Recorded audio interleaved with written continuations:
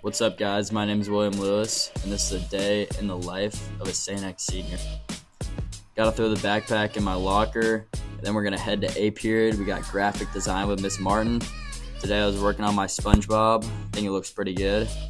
Then we go to B period. We got journalism. We got Xavier News in there cooking up some content, making videos and stories.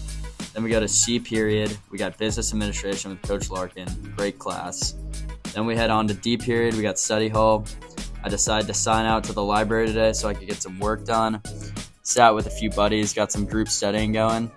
Now we go to lunch, E period. Today I got a chicken sandwich with chicken and rice, and it was awesome. Next, we're off to F period, English with Mr. Shuttlemeyer. New teacher in the school, he's awesome. Now we got G period with World Religions with Mr. Stairs. These are my guys, Toby and Maddox. Now we're off to the last period of the day. We got Calculus with Mr. Ashby. He's a great teacher. And after that, it's time to go home. But that was another great day at St. X.